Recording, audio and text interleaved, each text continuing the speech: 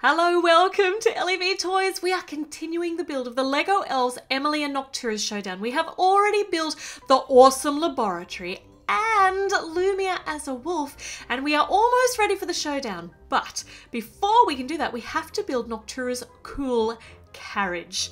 Now, this carriage is the best fantasy steampunk thing you have ever seen, according to the pictures anyway. so we're going to build it, we're going to see what it actually looks like. I absolutely love an old-fashioned carriage, and oh, to be able to build one in Lego with a fantasy kicker as well is just amazing. So let's see how it turns out. And apparently, apparently, Apparently, she just gets to sit in the back and she gets chauffeured around by her bats. I don't know that I would allow them to actually chauffeur me around. They're a bit, bit ditzy. they might not get her where she actually needs to go. All right, we have got. We're starting on the. Well, we're getting the getting the shape of this together. We have now got somewhere for Noctura to actually sit. There's a very pretty pastel yellow there. And now we get, well, all right, we're going to have moving parts, obviously, so we're going to need some Technic pieces. And the Technic pieces require a bit of concentration to make sure you put the right bits into the right holes. So you have to count down from the top, or I do anyway, I have to make sure that it is exactly as it is in the instructions, or it just quite simply won't move the way it's supposed to, or it will get stuck and and I don't want that to happen. So we've got this big long Technic piece sticking out the front of the carriage and now we've got some little scrolly parts on the sides maybe to decorate, well obviously to decorate the side of the carriage but maybe she's going to use them to help her get in. I don't know. I think I should stop just just imagining what it's going to be. This sticker here has got it's a map. it's like the GPS. It's going to be the GPS for the for the carriage and Mizo or Mitzo or Mizo is going to be the one who's in charge of driving and I and I hope that those goggles he kind of looks a little bit cross-eyed in behind those goggles so I hope he can see well enough to drive safely cause not only is it going to drive on the floor or on the ground it's to fly in the air when we put the wings on. So more Technic pieces, really long ones here. Uh, I can't figure out what angle this has to go on. There, it goes on like that. There we are. So sometimes you just have to turn it around until you can actually see how it's supposed to work. And okay, those are now connected via the bottom, and Noctura is very happily sitting on her head there. Alright, so we're connecting the back to the front via our big long brown rod and now we've got some more Technic pieces here. These look like they might be the saddles for the wheels. Yeah, I think so. That's my guess anyway, I suppose we'll find out. And we're connecting those up nice and super strong when you connect things with the Technic pieces. They do not come off easily. If you've ever tried to disassemble a Technic Lego set, I can't even say that, a Technic Lego set, then you will understand exactly what I mean. They are hard to get apart, but that means that structurally they are very, very strong. Nice big long rod out the front is now getting some more Technic pieces on it and it's all symmetrical here at the moment which makes it a lot easier for me and now we've got these are all this is all just to make sure that our moving parts work all the little rods they all have to interlock with each other and hopefully hopefully at the end it'll all work properly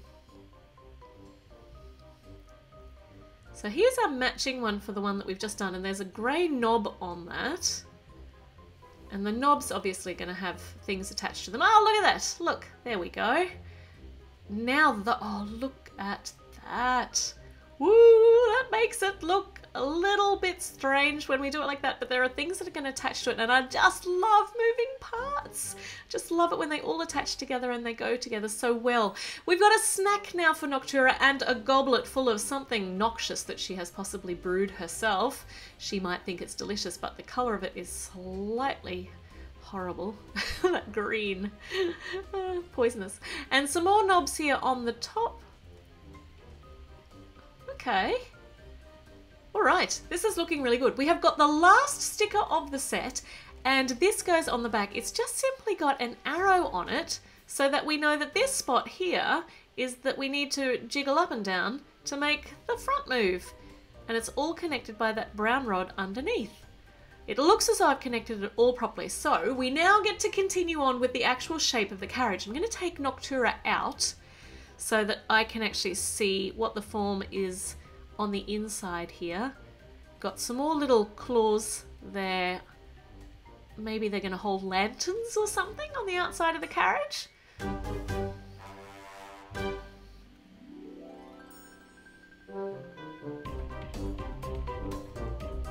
And down here we've... Oh, okay, so this is how she's going to get in. This is her step up into the carriage like a stirrup and to actually create the form or to create the, the illusion of a curved form, we've now got these nice big flexible pieces and we'll see what it looks like on the other side. We are currently, currently just matching up both sides. So that makes the curve, and this is just a nice embellishment, make the carriage part at the front it's really, really starting to look like a carriage. But hold on, the carriage now has bat wings on it because it's Noctura's. Yeah, so that makes sense. And and because it is uh, well, it, it's going into battle, it's obviously going to need some weapons. So we've got a couple of shooters, and the shooters are attached here on the front. So defense or offense, probably, knowing Noctura. All right, it's looking it's looking enough like a carriage so far. Now we need to just put, well, we need the top on it. And then maybe it'll look a little bit more carriage-like. More of these gorgeous teal pieces. I hope we see more of these in the future.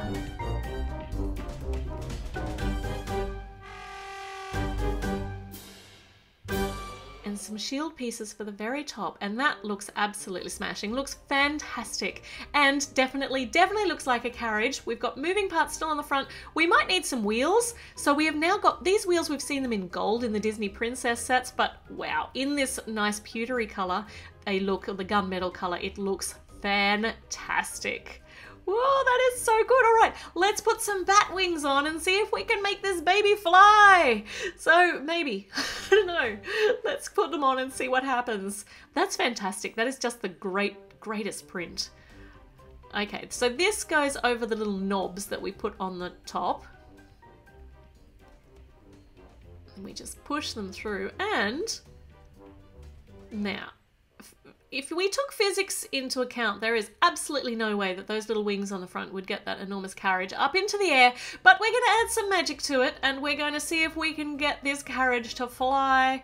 Oh, hold on, hold on. False, false start. Let's try again. Let's flap a little harder. Ah, and it's in the air. it is really, really beautiful. The design is gorgeous, if not really feasible, but so, so cool. Look at that. Well, we've built the whole thing now, so let's have a really good investigator of it. Here in the back, behind the cobweb, is a little lair for the oh, little hidey hole for the spider, so you can stay in there. And Miso is going to go off and get some ingredients, even though we do have a container full of ingredients. But all right, some root of oh. Oh no, miso's in the cauldron. Okay, lucky we weren't we weren't cooking that yet. So we've got some root of deliciousness. We've got a bone of a dragon in there, and he needs to get the rare flower of Aragon.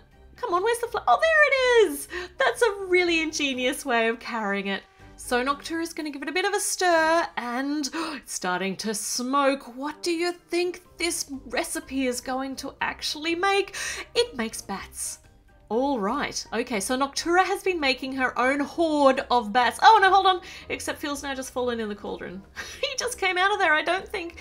Oh, there we go. He's very clumsy. He might have needed to cook in there a little bit longer. So she's making an army of bats. No wonder she was banished to the Shadowlands. That is a dastardly plan, and her bats have gone to get her carriage, and she's off for this showdown. Here we go. Phyll is still fresh out of the cauldron. I think his wings are still wet. Emily and Lumia have come searching for her, but she's already gone. They've missed her. All right, so they're gone off in pursuit after Noctura. Here she is. Oh, she's heard them. She's turning around. She's turning around. She is keen for this battle. Oh, what's going to happen? I don't know. I don't know that it's going to be a massive battle. Uh, Lumia is going to nibble on the bat wings, and while they are having their battle, Lumia is also going to eat a couple of bats. Look, look at this. Look, look. She's got the perfect shape melt for, eating bats, and the bats just stay in her mouth. Mmm, delicious bat meal. Right, okay, that was just ridiculous. But I did want to show you this. Those little plugs on the side mean that we can actually connect her new laboratory to her existing tower. And on the other side, there's actually holes for more plugs. So I'm hoping that in future LEGO Elves installments, we might actually get some more to fill out Noctura's tower. But now we have two Nocturas, so we might put this one over here by the cauldron, and that way hopefully they won't argue too much. And why is Lumia back? Oh, Lumia has come to return the bat that she swallowed. Poor little Phyll. He only just came out of the cauldron, he's having a rough day. Oh, Phyll, here, you can just rest up here. so what do you think of the set now that you have seen all of it built? There is so much in it and it really is, oh, it's got so much potential for cool and fun play. Make sure you subscribe if you haven't done it already. Make sure you click the little notification bell that way. You see when new videos come up and I will see you with a new video very, very soon. In the meantime, I am going to be playing with this set. See you later. Bye.